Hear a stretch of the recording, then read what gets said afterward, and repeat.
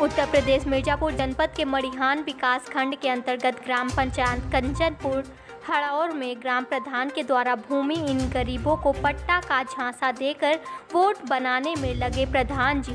आपको बताते चले कि पाँच साल तक गरीबों की याद नहीं आई। अब प्रधानी जाने वाली है तो पट्टे का झांसा देकर हमदर्दी दिखा रहे हैं। शिवजीत सिंह पटेल, अरविंद पटेल राजा पटेल, मुन्नू पटेल से जानकारी प्राप्त हुई कि हम लोग 40 वर्ष से चुनरी बांधा में जोताई बुआई कर रहे हैं। हम लोग जमा पनी कट दे रहे हैं, जिसका हमारे पास जमा पनी कट की रसीद है। अब प्रधान जी दबंगई से लोगों को कब्जा दिलवा रहे हैं।